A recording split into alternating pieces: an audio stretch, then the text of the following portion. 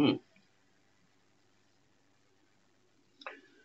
I'm gonna um do this song that I used to do. My mom taught me. How you said songs my mama taught me? um M is for the million things she gave me. O is for the older she will be. T is for the tears she shed to save me. Um, H is for her heart, the purest gold. E is for her eyes of love light shining. R is for the right she'll always be. Put them all together, they spell mother.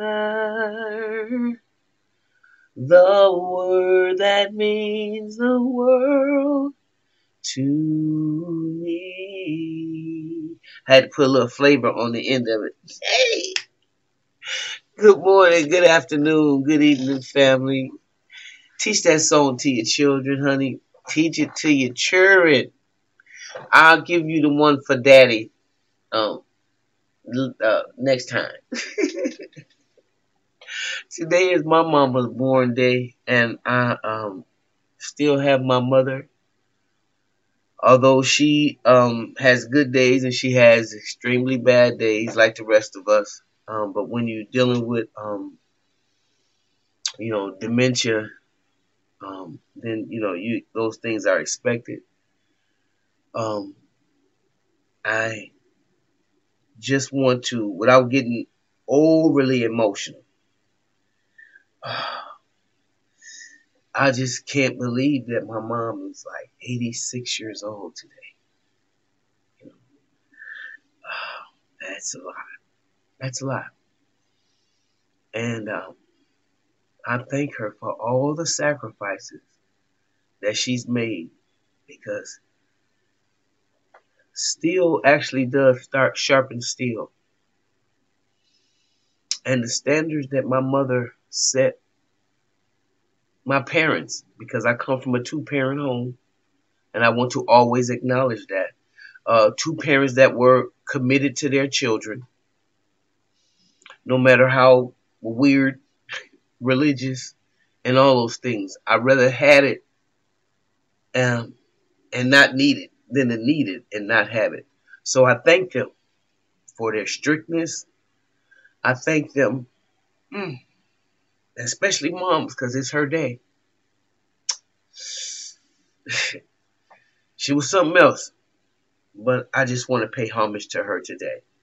Today is her day, and um, I got a nice day planned for her, and we'll see how it turns out. Okay, so now that I got that out the way, and I didn't get too emotional, this is really a shame. This is for all you brothers and sisters and anybody else out there, especially black people, because I'm saying this to y'all more specifically because we are so, I understand the wealth gap between us and white folks is so vast that we just looking for a come up and usually we'll do anything for that come up. And a lot of people don't, the people that don't understand it, claim that they don't understand it, is because they, they, they're not in this situation. So, um, when I read articles like this, and I, I'm not making any excuses. So all of y'all who have used those PPP loans to um, get yourselves out of situations or thought it was free money, they gonna come back and collect. And this is one of the worst case scenarios. Is to get a PPP loan and not even use it for what, you, what you're supposed to. So this is a love and hip hop star named Mo Fayne. And they're behind bars right now. Ooh, Lord, Lordy, Lord. After using um a, a, a PPP loan. I want y'all to listen to me real good now, okay? He then took the PPP loan so he can false flag and let everybody think he rolling like that to, to, to feel important because we missing love and attention. So we think that we can find it in the things, the jewelry, and all this kind of stuff that the trinkets. And don't get me wrong, I know that we are very inordinate people. Okay, so I'm not saying it the, the desire. There's nothing wrong with the desire to put on the jewelry and stuff that our people are so recognized and so um, uh, uh, used to and accustomed for thousands and thousands of years of wearing it. We we used to wearing diamonds and gold around our necks and our, on our uh, fingers and in our ears and up our arms. That's not the problem. That's who we are, and that's who we were before we were indoctrinated. But when you take the means to do this and you don't have no way of paying it back and you use it to buy an $85,000 worth of jewelry and $136,000 Rolls Royce and $40,000 in past due child support, you know what, honey? I, there's no excuse. I don't know what kind to uh what kind of um excuse that anybody can make for you. Mo Fayne, 38, has been sentenced to 17 and a half years in prison and must pay back $465,865.55 in restitution for his role in a federal bank fraud.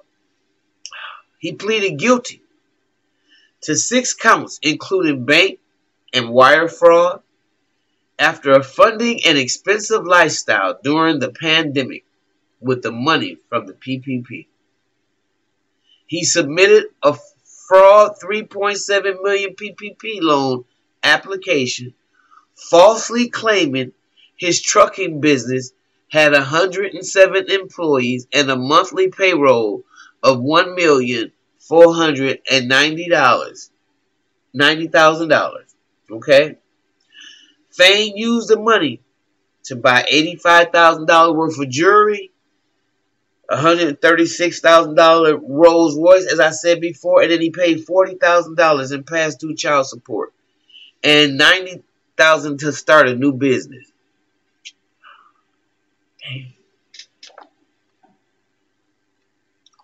And for that, now you're going to spend 17 years in jail, away from your family, away from your friends and the people who love you, uh, and the people that you love.